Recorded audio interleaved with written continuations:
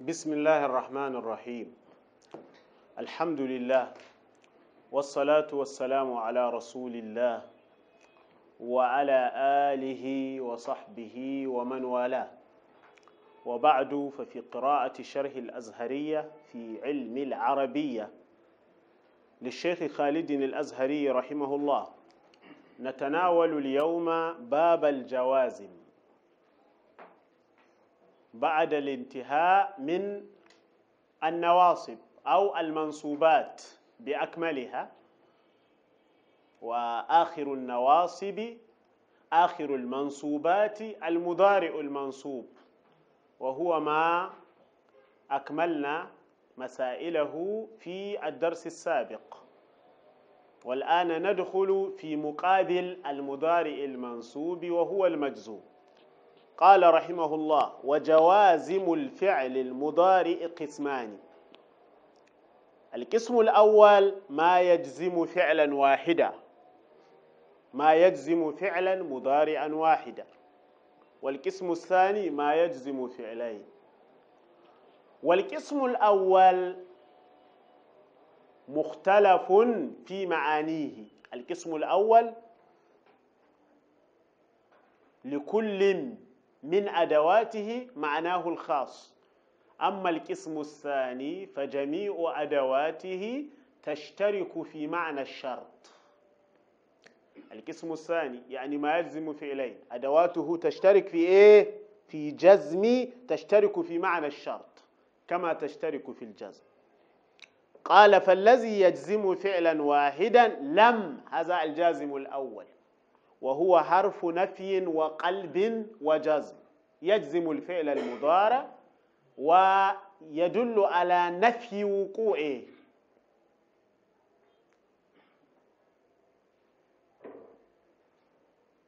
كما أنه يقلب المضارع إلى الماضي. المضارع يدل على حصول العمل في الحاضر أو المستقبل. وإذا دخل عليه لم تحول إلى الماضي في المعنى. ولذلك يقال في الإعراب حرف نفي وجزم وقلب أو حرف نفي وقلب وجزم. نحو لم يلد ولم يولد. لم حرف جزم يلد مضارع مجزوم بلم ولم يولد لم أيضا حرف نفي وقلب وجزم يولد مضارع مجزوم بلم ولما هذا الحرف الثاني.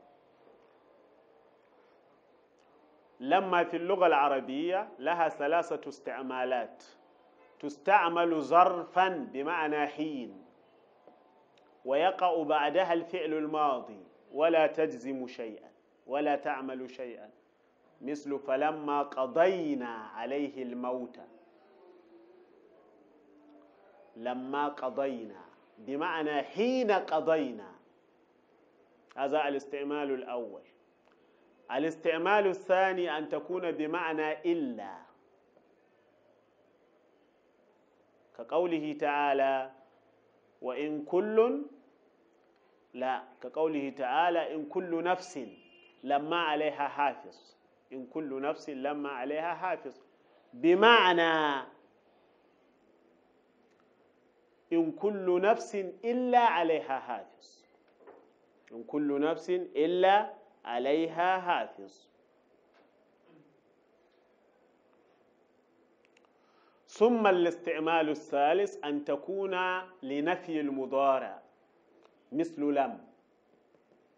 تكون مثل لم في المعنى حرف نفي وقلب وجزم. تدل على النفي وتقلب المضارع إلى الماضي في المعنى وتجزمه. وتتميز اللم ببعض الأسرار والمعاني الثانوية كدلالتها على توقع وقوع المنفي في المستقبل. النفي بلما يوحي بأن المنفي يتوقع وصول حصوله في المستقبل. أقول لما يأتي الأستاذ بمعنى لم يأتي الأستاذ لكن عندما أستعمل لما يعني أتوقع أن يأتي بعد قليل. وعلى هذا قوله تعالى لما يذوق عذاب. يعني لم يذوقوا ولكنهم سيذوقون فيما سيأتي. قالت الأعراب آمنا. قل لم تؤمنوا ولكن قولوا أسلمنا. ولما يدخل الإيمان في قلوبكم لما يدخل بمعنى لم يدخل ولكن يرجى دخول الإيمان في المستقبل أما في الحال فلم يدخل. قال ولما بتشديد الميم أختها أي أخت لم في الجزم والنفي والقلب نحو لما يأتكم لما حرف نفي وقلب وجزم. يأتي مضارع مجزوم بلما وعلامة الجزم حذف حرف الإلا. وطبعا علامة الجزم إما السكون مثل لم يلد ولم يولد. وإما حذف حرف الإلا نحو لما يأتكم وإما حذف النون كما سيأتي لما يذوق عذاب قال بخلاف لما الحينية أي التي بمعنى حين. نحو فلما قضينا عليه الموت. فهي لا تجزم المضارع بل لا يكاد يقع المضارع بعدها. ولما الإيجابية أي التي بمعنى إلا نحو أقسمت عليك لما فعلت كذا أي إلا فعلت كذا. فإنهما أي لما الهينية ولما الإيجابية يدخلان على الماضي بخلاف لما النافية فهي مختصة بالمضارع. ولام الأمر هذا هو الجازم الثالث. لام يدخل على الفعل المضارع فيجعله كالأمر في المعنى يجعله كفعل الأمر. وهذه اللام تكسر. إذا لم يكن قبلها واو العطف أو فاء العطف أو ثم. كقوله تعالى لينفق ذو سعة من سعته. ينفق مضارع مجزوم بلام الأمر علامة الجزم السكون. وقوله تعالى ليقضي علينا ربك. ليقضي علينا ربك حكاية عن أهل النار. ونادوا يا مالك ليقضي علينا ربك. ليقضي. اللام لام الأمر. لكن هنا لا نقول لام الأمر لأنه من الأدنى إلى الأعلى إلى الباري سبحانه وتعالى. فنقول لام الدعاء. ولام الدعاء كلام الأمر في المعنى. الفرق فقط في المصدر.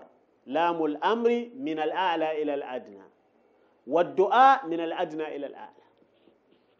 إذا اللام لام الدعاء يقضي مضارع مجزوم باللام وعلامة الجزم حسب حرف الإل وإذا سبقت هذه اللام بالواو سكنت صارت ساكنة. كقوله تعالى وليوفوا نذورهم وليوفوا اللام لام الأمر. يوفوا مضارع مجزوم باللام علامة الجزم حسب النون. وهي ساكنة لأنها مسبوقة بالواو. وليوفوا نذورهم وليطوفوا بالبيت العتيق وكذلك إذا سبقت بالفاء كقوله تعالى من كان يظن أن لن ينصره الله فليمدد بسبب فليمدد. يمدد مضارع مجزوم بلام الأمر ولام الأمر ساكنة لأنها مسبوقة بالفاء. فليمدد بسبب إلى السماء. ثم ليقطع شاهد آخر. ثم ليقطع. يقطع مضارع مجزوم باللام أيضا واللام ساكنة لأنها مسبوقة بصم. مفهوم الكلام؟ تفهمون ما أقول؟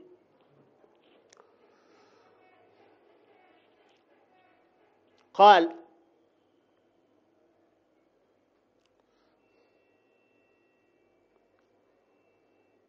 ولام الأمر نحو لينفق ولام الدعاء نحو ليقضي. انتهينا من الحرف الثالث. ثم الحرف الرابع وهو الأخير. ما يجزم فعلا واحدا أربعة أشياء. لم ولما ولام الأمر والدعاء. اسم واحد. ثم الثالث. لا الناهية والدعائية. لا التي تدل على نحي المخاطب عن فعل شيء معين. لا التي تدل على طلب الكف عن الفعل ترك الفعل. وإذا كان الطلب من الأعلى أطلق عليه النهي. طلب الكف إذا ورد من الأعلى فهو نهي وإذا ورد من الأدنى فهو دعاء. وعلى كلا النوعين فالمضارع المذكور بعد لا هذه يجزم بها. قال ولا في النهي نحو لا تخف ولا تحزن. لا تخف تخف مضارع مجزوم بلا الناهية. علامة الجزم السكون. ولا في الدعاء نحو لا تؤاخذنا. هذا دعاء. ندعو الله سبحانه وتعالى ألا يؤاخذنا بما يعني عملنا من السيئات. تؤاخذنا تؤاخذ مضارع مجزوم بلا الدعائية علامة الجزم السكون. وأما معانيها هذه الحروف الأربعة التي تجزم فعلا مضارعا واحدا. فلم لنفي الفعل في الماضي مطلقا. يعني إيه مطلقا؟ سواء أكان النفي منقطعا أم كان مستمرا. النفي بلم يكون منقطعا. يعني المنفي انتهى نفيه في وقت التكلم. كأن أقول مثلا لم يفهم زيد ثم فهم. لم يفهم زيد ثم فهم. إذا لم يفهم زيد هذا النفي منقطع. لم يفهم في الماضي والآن قد فهم. وأقول لم يفهم زيد حتى الآن. فالنفي مستمر. لم يفهم زيد ثم فهم. النفي منقطع. لم يفهم زيد حتى الآن النفي مستمر. هذا معنى لنفي الفعل الماضي مطلقا.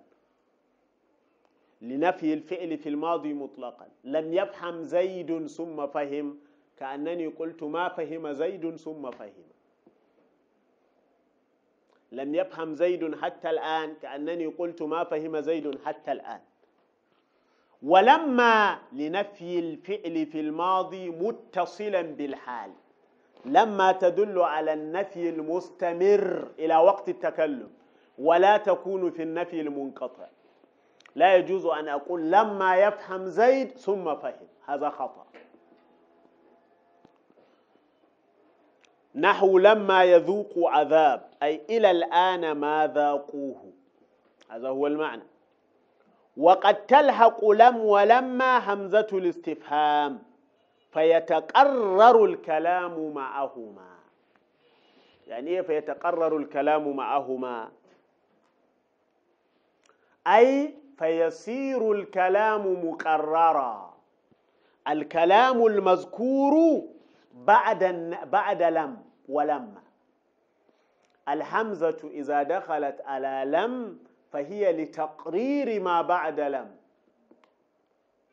وإذا دخلت على لما فهي على لتقرير ما بعد لما أقول ألم تفهم معناه قد فهمت. ألم تفهم معناه قد فهمت. ويجوز أن يكون للسؤال الحقيقي ألم تفهم سؤال أنتظر الجواب. فتقول بلى. أو نعم. وأقول للتقرير وليس للسؤال. ألم تفهم بمعنى قد فهمت؟ وعليه قوله تعالى ألم نشرح لك صدرك. الله سبحانه وتعالى لا ينتظر الجواب يحيط بكل شيء علما. فقوله ألم نشرح بمعنى قد شرحنا لك صدرك. وكذلك إذا دخلت على لما وألما يقم زيد بمعنى قد قام زيد وقد يكون للسؤال الحقيقي فيأتي الجواب بعده. ولام الأمر والدعاء لطلب الفعل ولا في النحي والدعاء لطلب الترك. فمن الأعلى إذا صدر الأمر إذا صدر طلب الفعل أو طلب الترك. من الأعلى إلى الأدنى فطلب الفعل يطلق عليه أمر وطلب الترك يطلق عليه نهي. وإذا صدر من الأدنى إلى الأعلى فكلاهما يطلق عليه الدعاء. انتهينا مما يجزم فعلا واحدا. ثم ما يجزم فعلين. قال والذي يجزم فعلين حرف واسم. فالحرف إن بكسر الهمزة وسكون النون. باتفاق أي بالإجماع حرف بالإجماع. الاتفاق على حرفيته.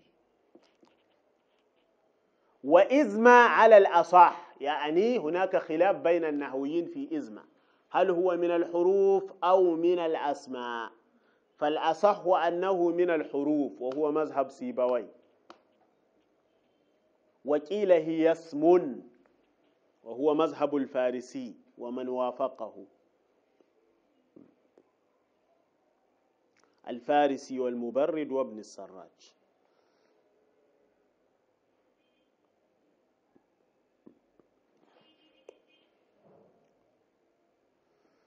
وقيل هي اسم وهما أي إن وإزمة موضوعان لمجرد الدلالة على تعليق الجواب على الشرط. يدلان على الشرط يدلان على أن الأول أها شرط في حصول الثاني. والشرط النحوي الشرط عند النحويين واللغويين ليس كالشرط عند المناطق والفلاسفة. الشرط لابد أن يتوقف عليه وجود الجواب كالسبب والمسبب. في المنطق والفلسفة إذا قلنا هذا شرط كذا فلا يتصور وقوع المشروط دون الشرط لا يتصور وقوع الجواب. أما في اللغة فالأمر ليس كذلك. قد يكون الشرط على الحقيقة وقد يكون على المجاز.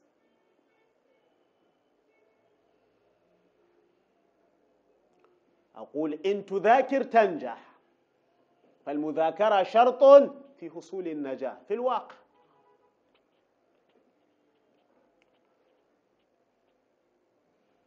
وأقول إن تكرم زيدا يهنك. إن تكرم زيدا يهنك. يعني إكرام زيد سبب في حصول الإهانة منه. هل هذا حقيقة؟ هل يعقل أن يكون الإكرام شرطا لحصول الإهانة؟ لا. هذا على خلاف الواقع ولكنه قد يقع.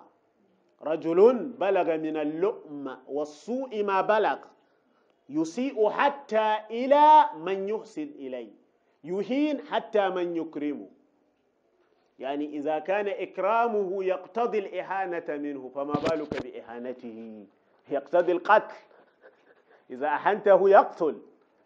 إذا أكرمته يهنك. طيب كيف لو أحنته؟ ماذا سيكون؟ وعلى هذا قوله تعالى وإن تطيئوه تهتدوا. وإن تطيئوه تهتدوا. هذا الشرط الحقيقي. يعني طاعة رسول الله شرط للهداية. هذا على الحقيقة. مثال إن تذاكر تنجى نحو إن تذاكر تنجى طيب مثال الثاني قوله تعالى وإن تدعوهم إلى الهدى فلن يهتدوا. إذا أبدا. إن تدعوهم إلى الهدى. يعني دعوة رسول الله لهؤلاء الكفار المعينين أها يؤدي إلى عدم هدايتهم. هذا من النوع الثاني. والآية تدل على أن الكفار المتحدث عنهم لا يمكن أن يهتدوا. ختم الله على قلوبهم. على حد قوله تعالى إن الذين كفروا سواء عليهم أأنذرتهم أم لم تنذرهم لا يؤمنون.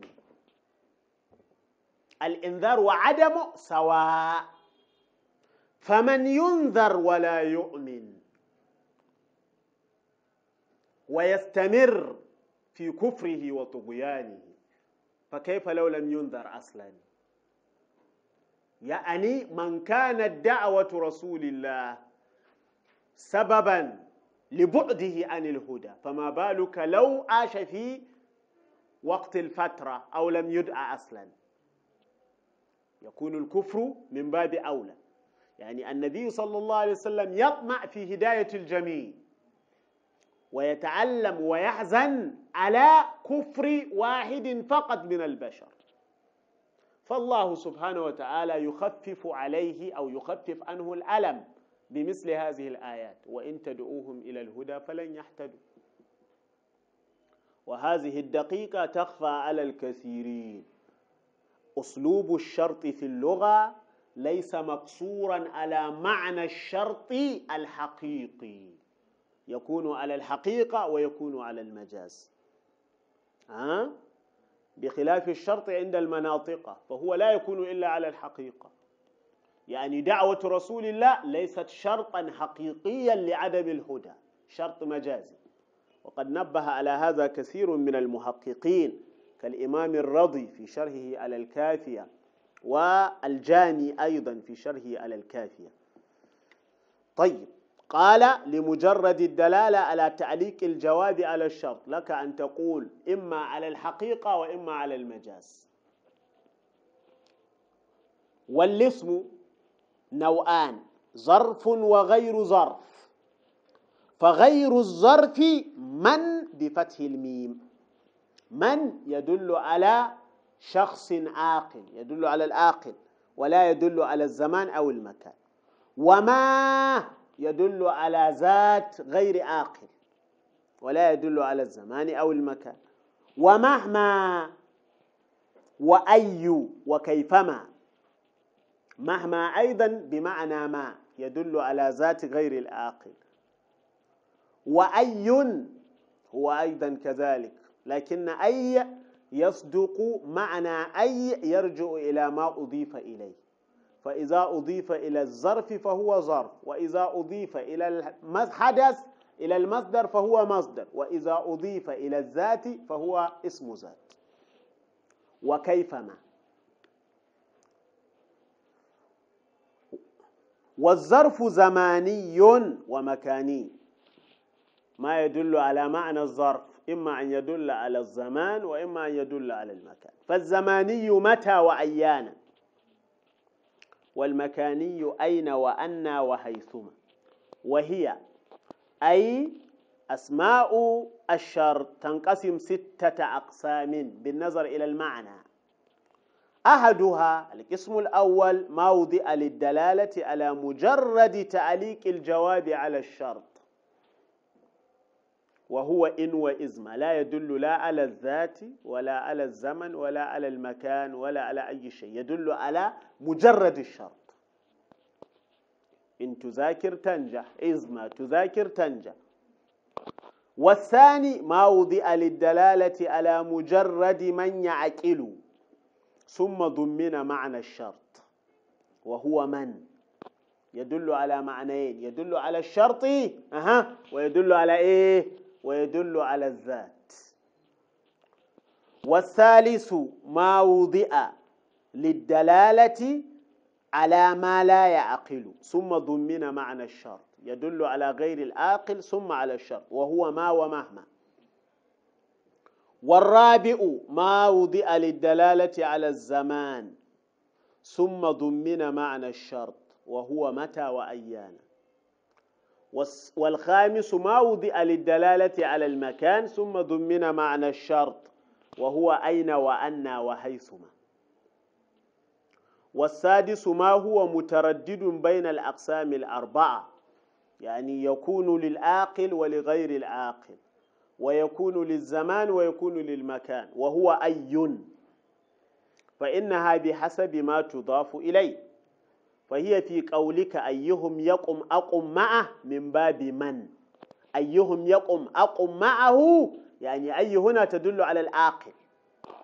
وفي قولك أي الدواب تركب أركب من باب ما؟ تدل هنا على غير العاقل. وفي قولك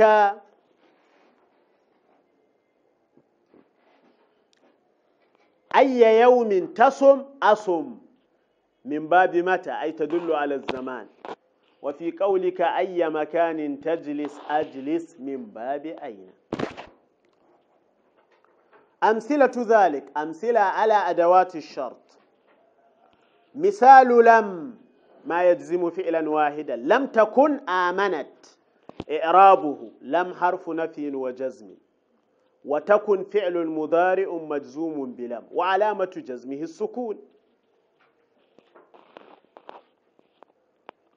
واسم تكن ضمير مستتر تقديره هي. وآمنت جملة في محل النسب خبر تكن. ومثال لما نهو لما يذوق عذاب. إعرابه لما حرف نفي وجزم وقلب. ويذوق فعل مضارع مجزوم بلما. وعلامة جزمه حذف النون لأنه من الأفعال الخمسة. والواو ضمير. مبني في محل الرفع فاعل. عذابي مفعول به منصوب. علامة النصب فتحة مقدرة. على ما قبل ياء المتكلم منع من ظهورها اشتغال المحل بحركة المناسبة. أذابي أصله أذابي. فهزفت الياء نطقا وكتابة والكسرة تدل عليها. ومثال لام الأمر لينفق ذو سعة. إعرابه اللام لام الأمر وينفق فعل مضارع مجزوم بلام الأمر. وذو فاعل مرفوع علامة الرفع الواو. وهو مضاف. سعة أها. مضاف إليه. وعلامة جزمه سكون آخره.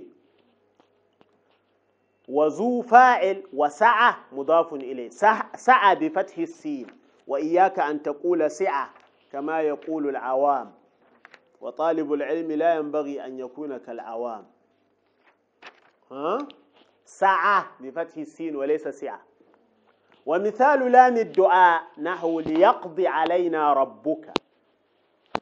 فيقضي فعل مضارع مجزوم بلام الدعاء وعلامة جزمه حذف الياء لأنه من الأفعال المعتلة.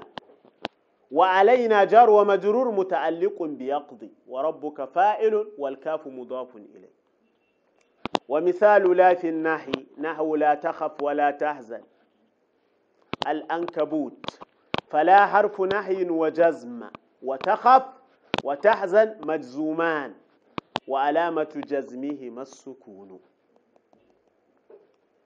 ومثال لا في الدعاء نحو لا تؤاخذنا. فلا حرف دعاء. وتؤاخذ مجزوم بها. وعلامة جزمه السكون. وفائله ضمير مستتر فيه وجوبا تقديره أنت. ونا مفعول به أي ضمير مبني في محل النص مفعول به. ومثال إن نحو وإن تؤمنوا وتتقوا يؤتكم. فإن حرف شرط جازم يجزم فعلين.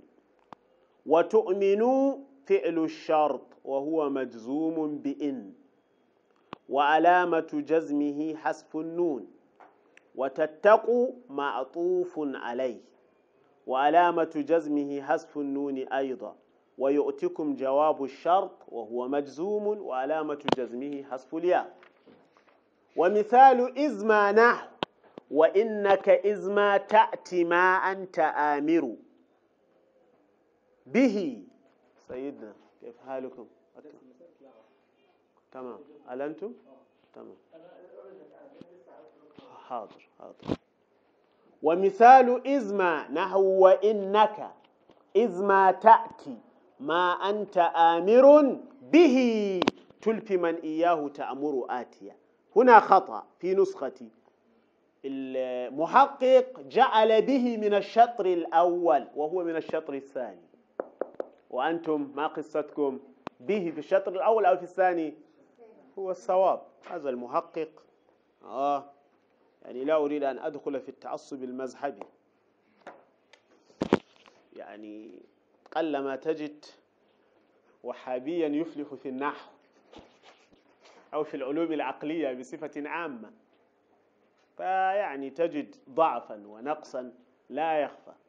والله المستعان. وهذا يتكرر في هذا التحقيق.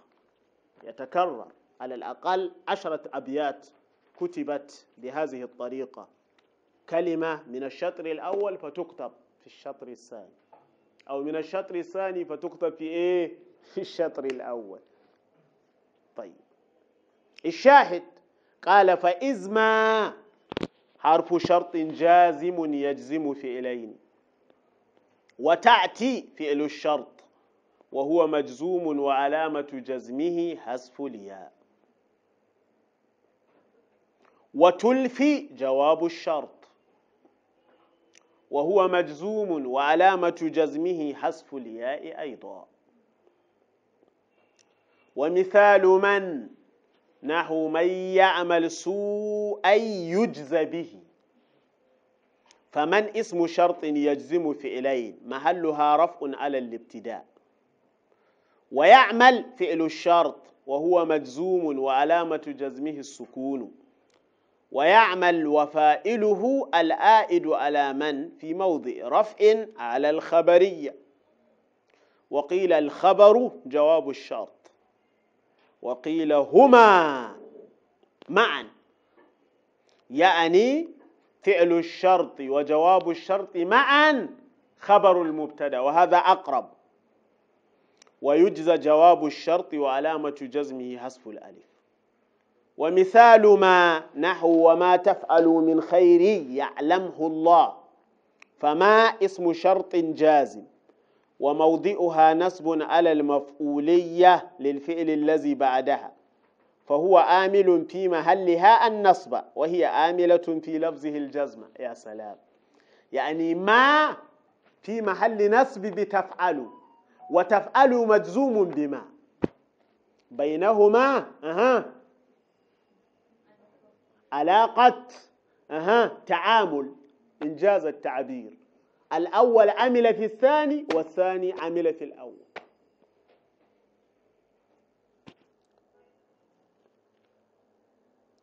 وعلامة جزمه حذف النون ومن خير بيان لما. ويعلمه الله جواب الشرط وعلامة جزمه السكون. ومثال مهما نحو أغرك مني أن حبك قاتلي وأنك مهما تأمر القلب يفعل. بيت لامرئ القيس. من المعلقة أغرك مني أن حبك قاتل أغر الحمزة همزة الاستفهام.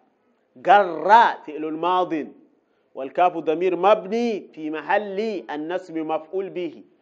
من جار ومجرور متعلق بغر أن حرف نسب وتوكيد. حبا اسم أن وهو مضاف الكاف ضمير في محل الجر مضاف إليه. قاتلي خبر أن. وأن واسمها وخبرها مصدر مؤول في محل الرفع فاعل. وأنك هنا الشاهد. وأن الواو حرف عطف أن حرف نصب الكاف ضمير مبني في محل النصب اسمه أن. مهما تأمر القلب يفعل. هذه جملة في محل الرفع خبر أن. وأن وما دخلت عليه مصدر مؤول في محل الرفع معطوف على الفاعل. قال فمهما اسم شرط مبتدأ وتأمري خبرها. وتأمري خبرها. وهو مجزوم بها. وعلامة جزمه حذف النون لأنه من الأفعال الخمسة. والقلب مفعول به. ويفعل جواب الشرط. وهو مجزوم وعلامة جزمه السكون. وكسر لموافقة حركة الروي. والشرط وجوابه خبر أن كما قلنا. يعني ومثال أي أي نحو أيما تدعو فله الأسماء الحسنى. فأيا اسم شرط جازم مفعول منصوب بتدعو. وما صلة أي زائدة جيء بها للتوكيد. وتدعو مجزوم وعلامة جزمه حذف النون. يعني أيا منصوب بتدعو وتدعو مجزوم بأي مثل ما سبق في وما تفعل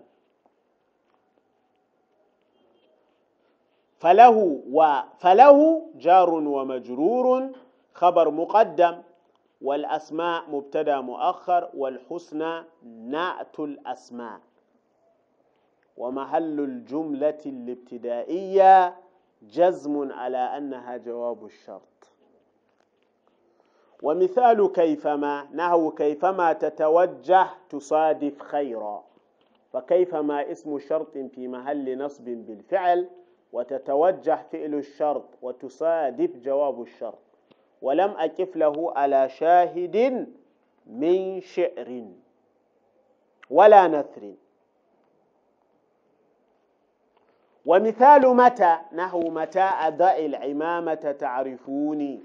هذا بيت من الشعر ينبغي أن يكتب على نظام الأبيات.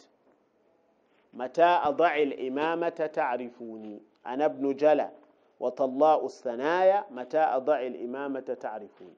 فمتى اسم شرط في موضع نصب على المفعول على الظرفية الزمانية؟ ظرف زمان منصوب. وناصبه أضع. وأضع فعل الشرط وهو مجزوم وعلامة جزمه السكون. يعني متى منصوب بأضع؟ وأضع مجزوم بإيه؟ بمتى؟ الشيء نفسه.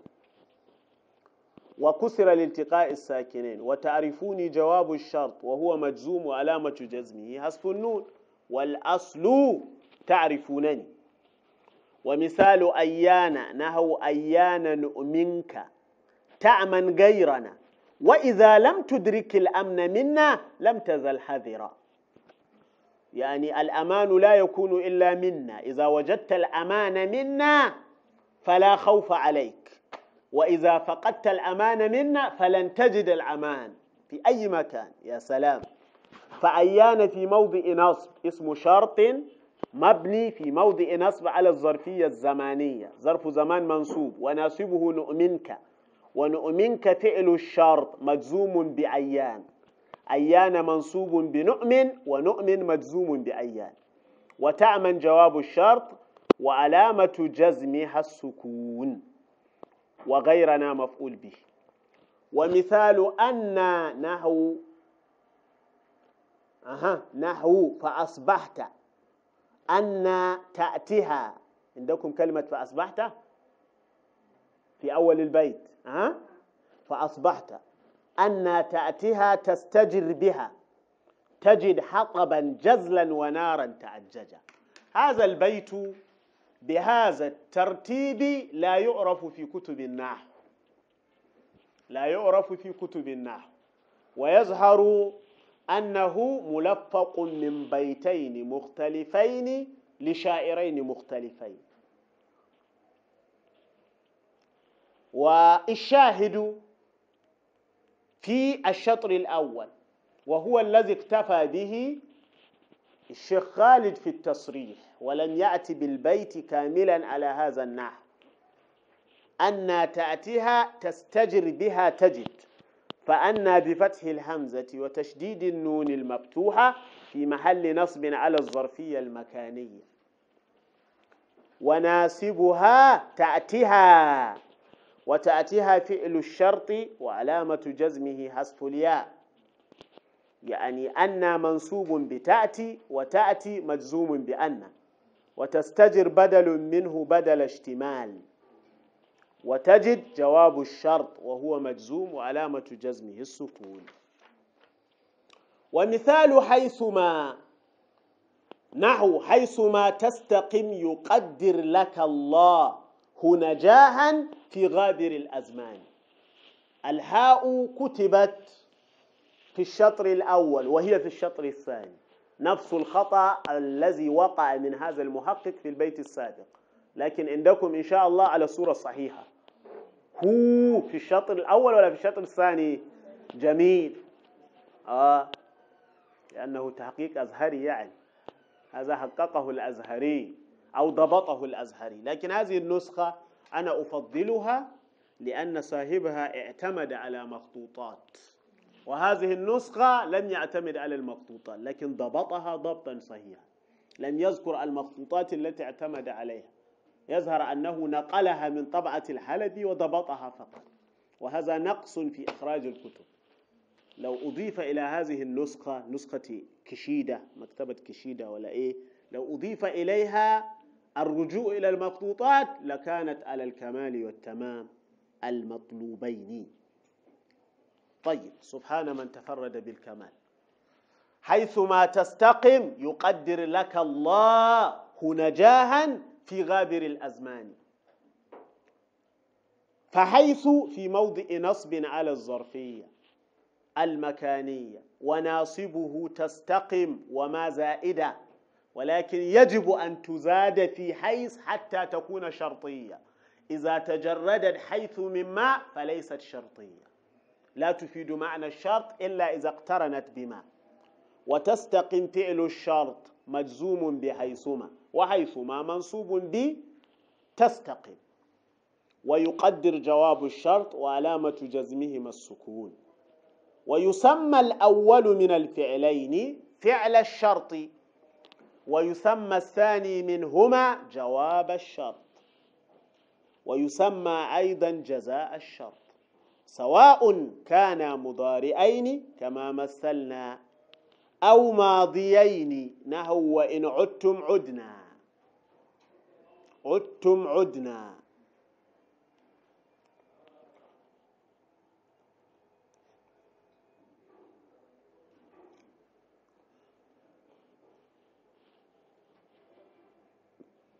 أو الأول مضارئا والثاني ماضيا. نحو من يقم ليلة القدر إيمانا واحتسابا غفر له. من يقم هذا فعل الشرط وهو مضارع. غفر له غفر هو جواب الشرط وهو فعل ماضي. وبالعكس نحو من كان يريد حرث الآخرة نزيد له من حرثه.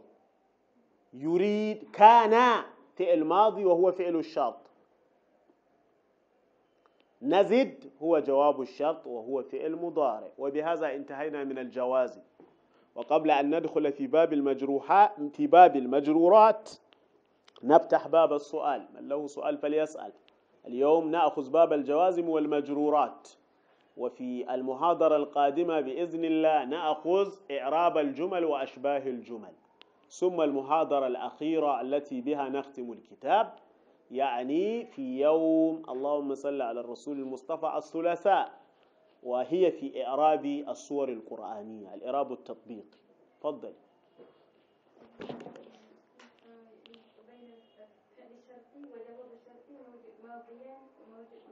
مضارئان ومختلفان.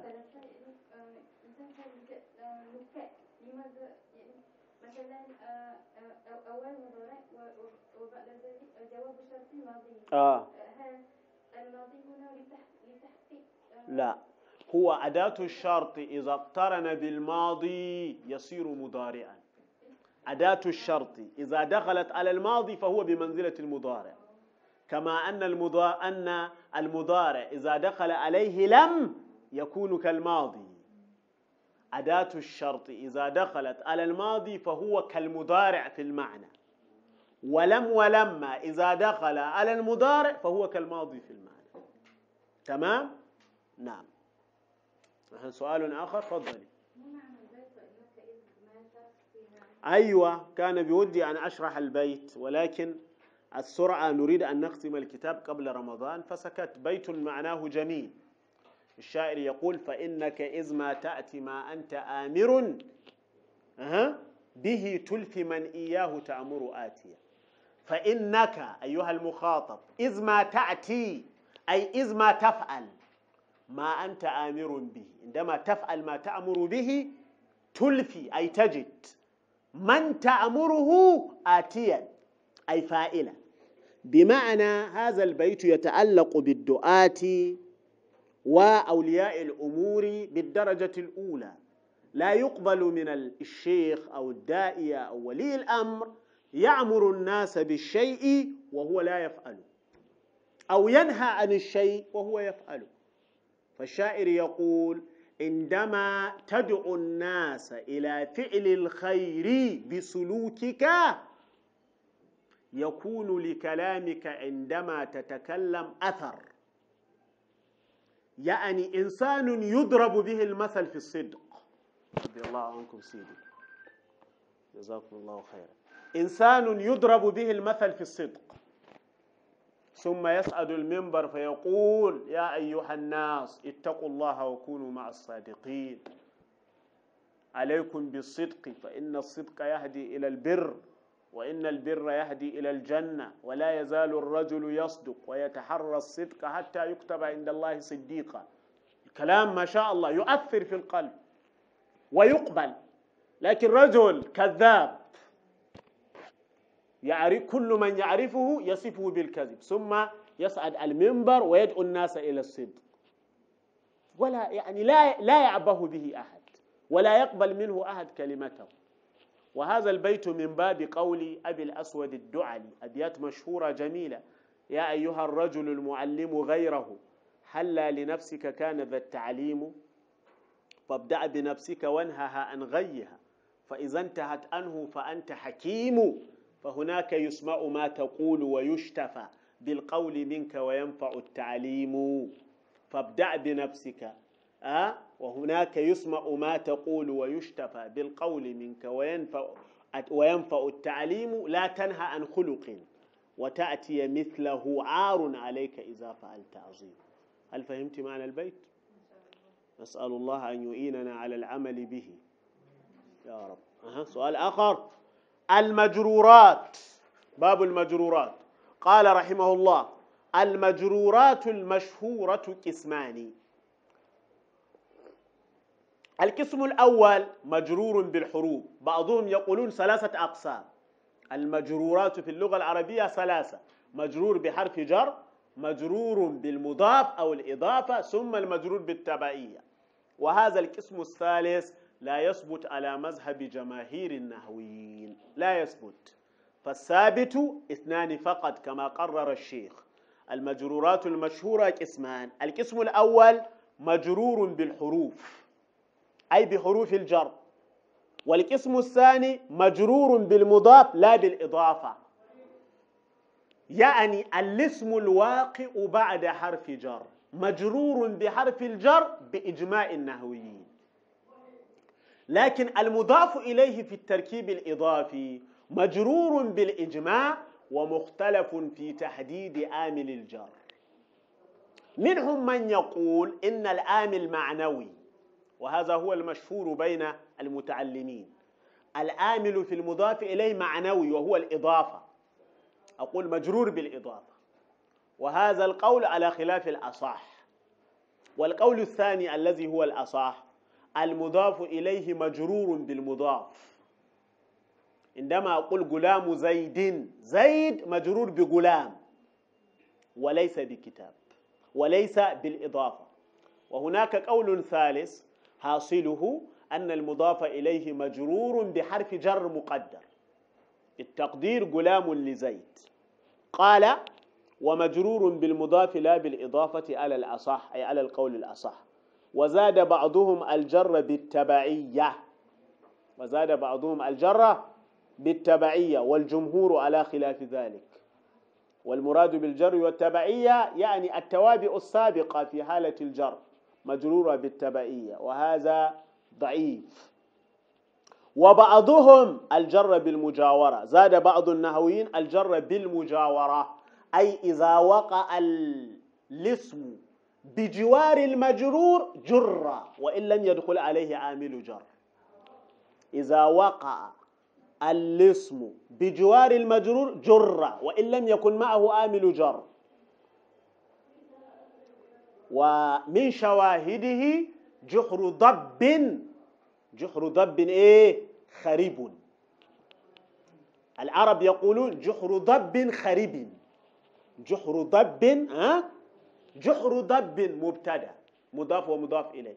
أين خبر مبتدأ؟ خرب وقياسه أن يقال خريب بالرف. إلا أن العرب قالوا خرب لماذا جروه؟ لأنه بجوار المجرور. يسمى جر بالمجاورة.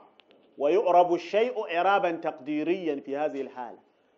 أقول خرب خبر مبتدأ مرفوع. علامة الرفع ضمة مقدرة منع من ظهورها اشتغال المحل بحركة المجاورة. ومن شواهده قول امرئ القيس كأن ثبيرا في أفانين ودقه كبير أناس في بجاد مزمل. كأن ثبيرا في أفانين ودقه. جبل يصوره امرؤ القيس بأنه كشيخ القبيلة كأن ثبيرا في أفانين ودقه. كبير أناس أي شيخ قبيلة. في بجاد أي في أبايا في بردة في الجبة. مزمل مزمل نعت لكبير. القياس أن يقول امرؤ القيس كبير أناس في بجاد مزمل ولكنه قال مزمل لأنه وقع بجوار المجرور. وهنا قال أحد الأدباء النحويين بيتين جميلين. يضمنهما هذا النوع من الجر الجر بالمجاورة. قال إزام الليالي إزام الليالي قد رمتك بساقط وقدرك مرفوع فأنه ترحلي ألم تر ما لاقاه؟ في جنب جاره كبير أناس في بجاد مزمل. الله. إزام الليالي قد رمتك بساقط. وقدرك مرفوع فعنه ترحلي يعني إذا أبتليت بمؤاشرة قليل العدب الذي لا يحترم من معه ماذا تفعل؟ فعنه ترحلي إزام الليالي قد رمتك بساقط. وقدرك مرفوع فعنه ترحل. لأنك ستؤامل مؤاملة تجاور قليل العدب تصاحب قليل العدب فالناس يعتقدون أنك قليل العدب أيضا. إزام الليالي قد رمتك بساقط وقدرك مرفوع فعنه ترحل. ألم ترى ما لاقاه في جنب جاره؟ كبير أناس في بجاد مزمل. هذه العبارة نقلها من امرئ القيس. شيخ القبيلة صار مجرورا بسبب مجاورته للمجرور. فإذا كان شيخ القبيلة قد جر بسبب مجاورة المجرور فما بالك بمن هو دونه؟ طيب. وبعضهم الجر بالتوهم. الجر بإيه؟ يعني إيه الجر بالتوهم؟ عطف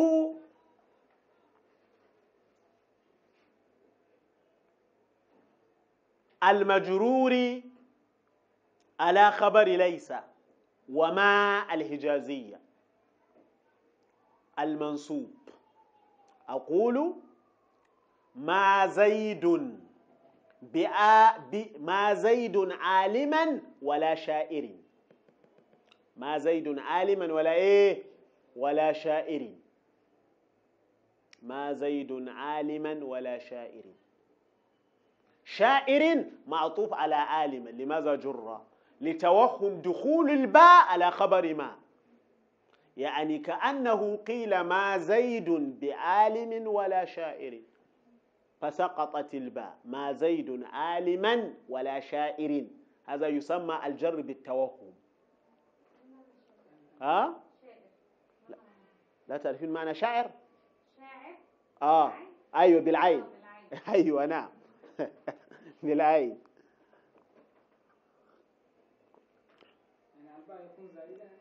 أيوه زائدة. الباء تزاد بكسرة في خبر ما. الباء تزاد بكثرة في خبر ما.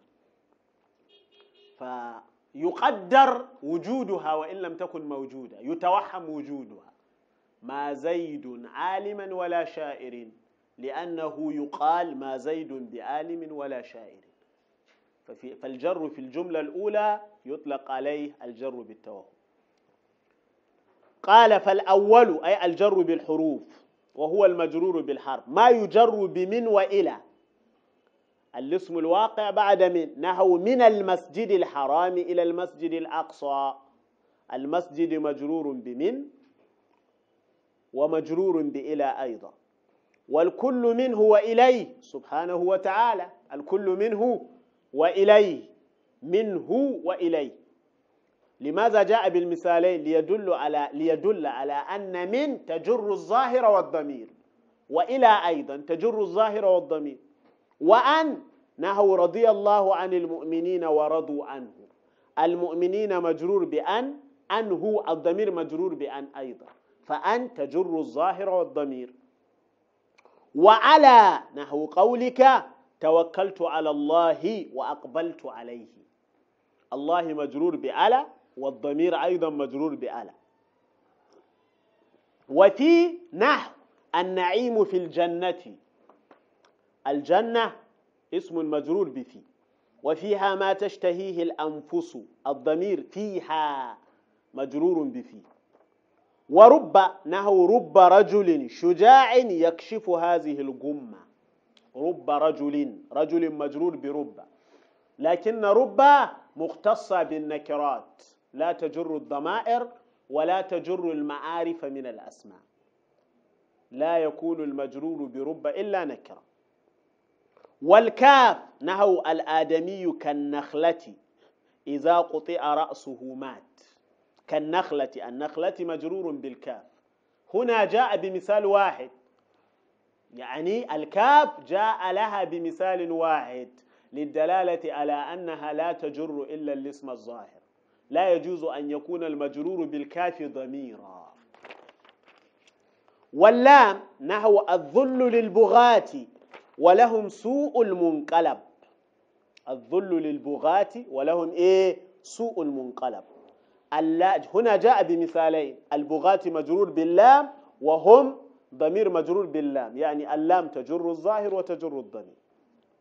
وحروف القسم وهي الباء الموحدة أي التي لها نقطة واحدة تحتية. والواو والتاء الفوقية الفوقية بمعنى لها نقطتان فوق. نحو بالله ووالله وتالله. بالله الله مجرور بالباء وهو حرف قسم. ووالله الله مجرور بإيه؟ بواو القسم. وتالله الله مجرور بتاء القسم. ما رأيت فتنة نعوذ بالله من الفتن. أعظم من هذه الفتنة الواقعة في آخر سنة 92 وأعوذ بالله من شر سنة ثلاث. وأعوذ بالله من شر سنة ثلاث أي سنة ثلاث وتسعمائة. من شر.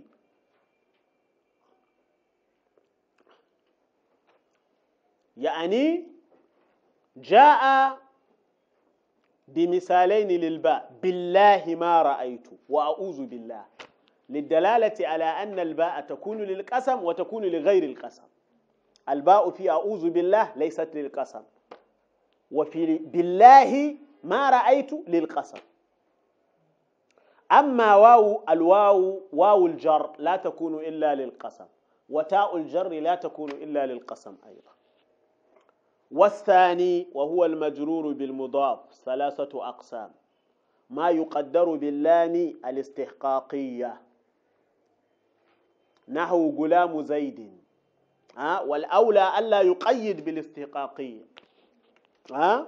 يعني ما يقدر باللام. تكتبون عند قوله ما يقدر باللام الاستحقاقية. الأولى ألا يقيد.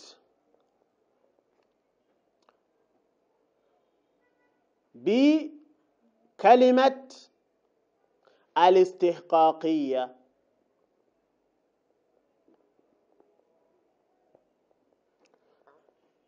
حتى تشمل عبارته.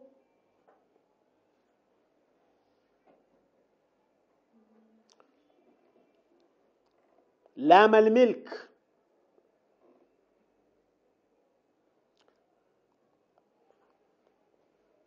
ولام الاختصاص. يعني كلامه هذا لا يشمل حالة كون المضاف مملوكا للمضاف إليه. لكن إذا قيل ما يقدر باللام فقد هذا يكفي. نحو غلام زيد. وما يقدر بمن الجنسية ويطلق عليها البيانية أيضا. نحو خاتم فضة. وما يقدر بفي الظرفية نحو مكر الليل. وهذا القسم الثالث مختلف في ثبوته. هناك من ينكره من النحويين فالأول الإضافة الأولى المثال الأول على معنى غلام لزيد. والثاني على معنى خاتم من فضة. والثالث على معنى مكر في الليل. يعني الإضافة ما يقدر بمن الجنسية. ضابطه أن يكون المضاف إليه جنسا للمضاف. خاتم من جنس الفضة أن يكون المضاف إليه جنسا للمضاف. وضابط الإضافة الأولى صحة تقدير اللام. غلام زيد يمكن أن أقول غلام لزيد. أما خاتم فضة لا يصح أن أقول خاتم لفضة. وضابط الثالث صحة تقدير فيه. قال وبعضهم حصر المجرورات في المضاف إليه فقط. وهو أي المضاف إليه كل اسم نسب إليه شيء بواسطة حرف الجر لفظا كالقسم الأول أو تقديرا كالقسم الثاني ومن هؤلاء ابن الحاجب. يعني هناك من يقول المجرور في اللغة العربية شيء واحد ما هو؟ المضاف إليه. والمضاف إليه على هذه العبارة يشمل المجرور بحرف جر ويشمل المضاف إليه. المضاف إليه إما عن طريق التركيب الإضافي وإما عن طريق الجر بحرف جر. وأما تابع المخفوض فالصحيح في غير البدل أنه مجرور بما جر متبوعه من حرف. الله أكبر الله أكبر. نحو بزيد الفاضل. بزيد الفاضل. فالفاضل مجرور بالباء كما أن زيد مجرور بالباء. أو مضاف نحو غلام هند الفاضلة في الدار. فالفاضلة مجرورة. أها بإيه؟ هذه العبارة لا ينبغي. هو قال لنا في أول الباب. أها. المجرور بالإضافة بالمضاف لا بالإضافة على الأصح. فلماذا هنا يقول إيه؟ بإضافة الغلام إليها في المعنى. كان عليه أن يقول بالغلام. هل فهمتم؟ يعني هذه العبارة تعارض ما سبق. المضاف إليه مجرور بالمضاف على القول الأصح وهو اختيار الشيخ خالد. طيب كيف يقول هنا مجرورة بإضافة الغلام إليها في المعنى؟ هذا على خلاف الأصح. والأولى أن يبني كلامه أه على الأصح. يعني يمكن أن تكتب الأولى أن يقال مجرورة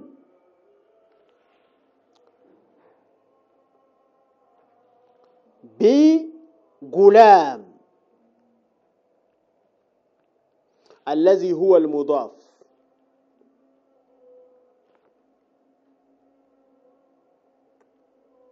حتى يتفق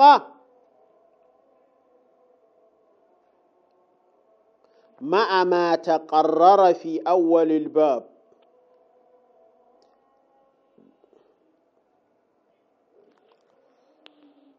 وفي البدل المجرور في البدل أنه على نية تكرار الآن. عندما أقول مررت بزيد أبي بكر مررت بزيد أبي بكر. أبي بكر بدل بدل من زيد. فالتقدير مررت بأبي ب... مررت بزيد مررت بأبي بكر.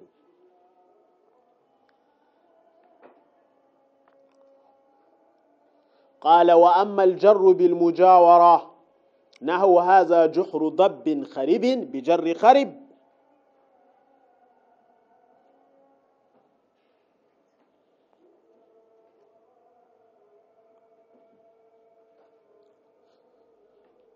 لمجاورته لضب المجرور وكان حقه الرفع لأنه نأت الجحر المرفوع على الخبريه والجر بالتوهم نحو لست قائما ولا قائد. قائد معطوف على قائما ولماذا هو مجرور والمعطوف عليه منصوب؟ بالجر على توهم دخول على توهم دخول الباء في خبر ليس. فكأنه قيل لست بقائم ولا قائد. فإنهما أي المجرور بالمجاورة أو الجر بالمجاورة والجر بالتوهم يرجعان عند التحقيق إلى الجر بالمضاف وإلى الجر بالحرف كما قاله ابن هشام في شرح لمحة أبي حيان. في شرح إيه؟ لمحة أبي حيان. أبو حيان له كتاب اسمه اللمحة البدرية وابن هشام شرحه شرحا جميلا. وهناك طلاب نقرأ معهم هذا الكتاب في هذه الأيام. عندكم لمحة ولا ملحة؟ ها؟ لمحة أبي حيان ولا ملحة أبي حيان جميل. جاء في بعض النسخ ملحة أبي حيان وهو إما أن يكون خطأ وإما أن يكون الكتاب يعني عرف باسمين. يقال لمحة أبي حيان ويقال ملحة أبي حيان. لتمييزها عن ملحة الحريري. وبهذا والحمد لله أخذنا اليوم بابين كاملين. باب الجوازم وباب إيه؟ المجرورات. وفي المحاضرة القادمة بإذن الله نأخذ أحكام الجمل وأقسامها كاملا. ثم المحاضرة الأخيرة في إعراب الصور العشرة التي جاء بها المصنف في آخر الكتاب. من له سؤال فليتفضل.